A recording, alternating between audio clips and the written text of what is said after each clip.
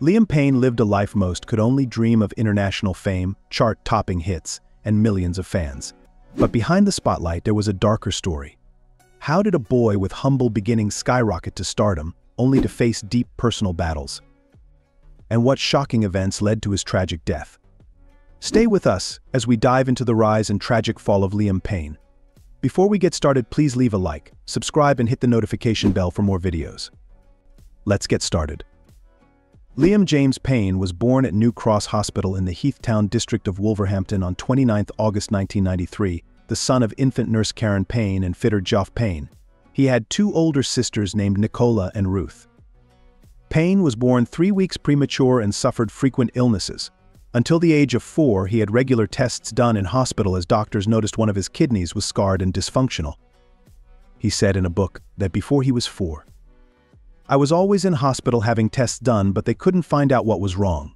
They discovered that one of my kidneys wasn't working properly and it had scarred. I had to have 32 injections in my arm in the morning and evening to try and make me better. As a student, Payne was heavily involved in sports, particularly cross-country running. Payne joined the Wolverhampton Bilston Athletics Club to pursue his running career. For three years he was ranked in the top three 1500m runners in the country within his age group.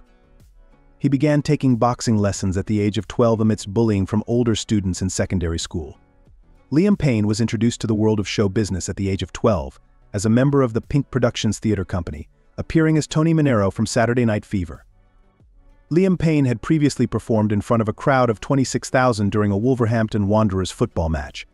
Liam Payne's musical journey began in 2008 when, at the age of 14, he auditioned for the British reality TV music competition The X Factor. Though his vocal talents impressed the judges, Simon Cowell felt Payne wasn't quite ready for stardom. Encouraging him to return in two years, Cowell's advice paid off. In 2010, Liam auditioned again, earning a standing ovation from two judges for his solo performance. Based on talent, absolutely incredible said Cowell, who sent the 16-year-old through to the next round. Liam X Factor journey took a turn when he was grouped with four other solo contestants Harry Styles, Zayn Malik, Niall Horan, and Louis Tomlinson forming the band that would change his life forever One Direction. Despite finishing third in the competition, the group quickly became a global phenomenon. One Direction skyrocketed to success, becoming one of the best-selling boy bands of all time. The group produced five studio albums and sold over 70 million records worldwide, breaking records with hits like What Makes You Beautiful Story of My Life and Night Changes.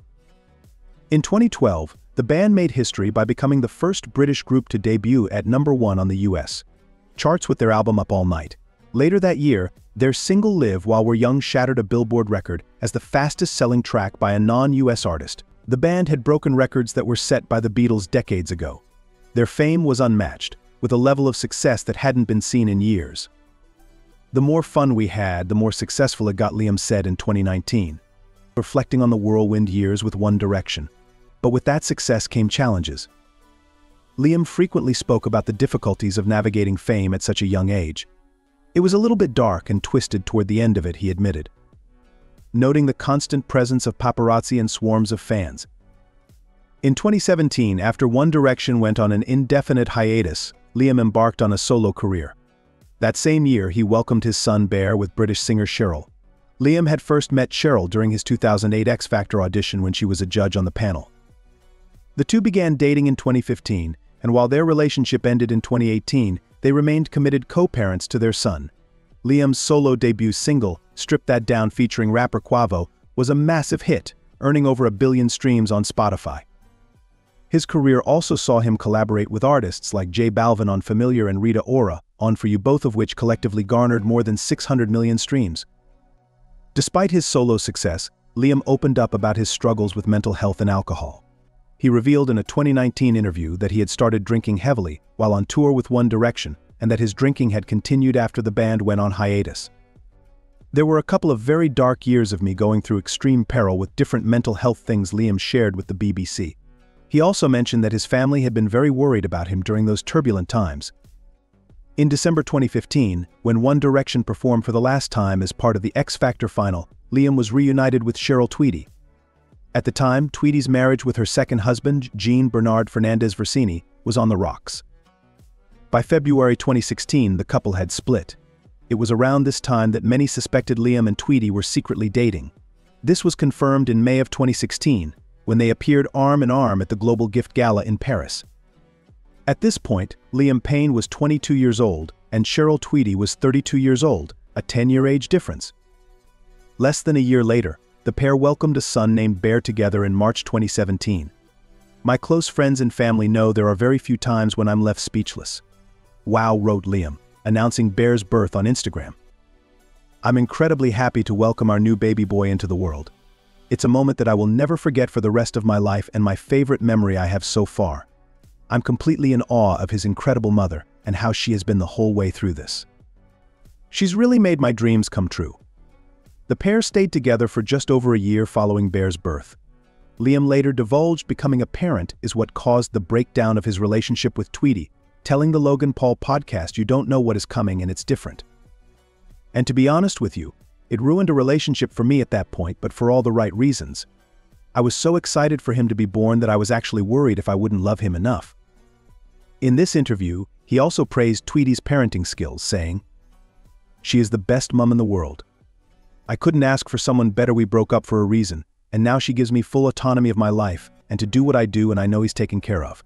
He is all she cares about and I couldn't ask for more. They live like three minutes from my house. I always blew myself to where he is. My life now is his. My money is his. He's a lovely, lovely boy. We've been blessed Cole has also made comments about their successful co-parenting situation, telling the Telegraph in 2019 Liam is much softer than me. But it is what it is and I'm okay about it. When you have a baby, you are not consumed with just thinking about yourself. It's your responsibility to keep things settled and happy, so you make the best of everything. And we have. Liam has been in two serious relationships since he and Tweedy split in 2018. He dated model and author Maya Henry on and off from 2018 to 2022, with the pair even getting engaged in 2020. The couple split in 2022 after Henry accused him of cheating.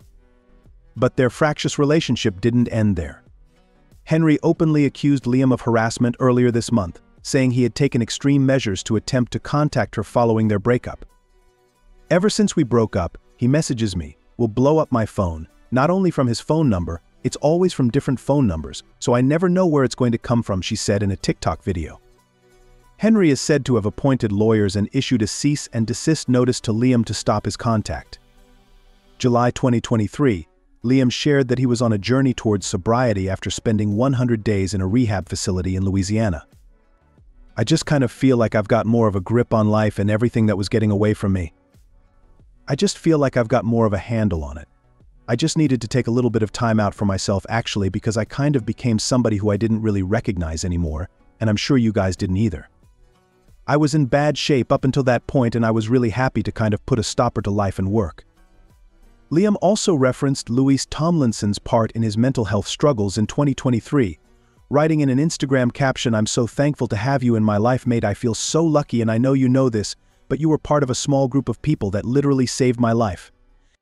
You dragged me out of something so dark I've never shared it but your approach is something I admire and aspire to, so I can one day do the same. Liam's sobriety came into question earlier this month when he was filmed dancing and playing up to the cameras at fellow One Direction star Niall Horan's concert in Argentina. Payne decided to continue his stay in Buenos Aires. He tragically passed away on October 16, 2024, at the age of 31. His death occurred after he fell from the third floor of the CasaSur Palermo Hotel in Buenos Aires, Argentina. The circumstances surrounding this incident remain unclear, with ongoing investigations attempting to determine whether the fall was accidental or intentional. On the day of his death, hotel staff contacted emergency services around 5 p.m. local time, reporting a guest in distress. Initial investigations suggest that Liam may have been alone at the time of the fall and possibly in a state of semi-consciousness. The autopsy revealed multiple serious injuries consistent with a significant fall, including internal and external bleeding. Reports indicate that various substances were found in his hotel room, which has raised questions about his state prior to the incident. Authorities are treating the case as suspicious, conducting interviews with witnesses and confiscating Liam's electronic devices for further investigation. A toxicology report is pending to clarify whether drugs or alcohol were present in his system at the time of his death. The news of Liam's passing has deeply affected his family, friends, and former bandmates. The remaining members of One Direction Harry Styles Louis Tomlinson, Niall Horan, and Zayn Malik expressed their devastation in a joint statement on social media. They described him as a beloved brother and shared their cherished memories with him.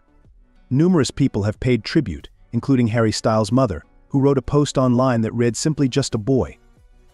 Liam's own family have said they're heartbroken and that Liam will forever live in our hearts and we'll remember him for his kind, funny and brave soul. We are supporting each other the best we can as a family and ask for privacy and space at this awful time. What an incredible, yet heartbreaking journey. Liam Payne's life was full of moments that inspired millions, but also a reminder of the struggles that come with fame. His story leaves us with so many questions about the price of success and how it can change everything. Now, we really want to hear from you. What was the most shocking part of Liam's story for you? Do you think there was a turning point where things could have gone differently? Drop your thoughts in the comments we love hearing your take. If this story moved you, don't forget to hit that like button, subscribe, and tap the notification bell to join us for more deep dives like this. Thanks for watching, and until next time, keep asking the questions that matter. See you in the next video.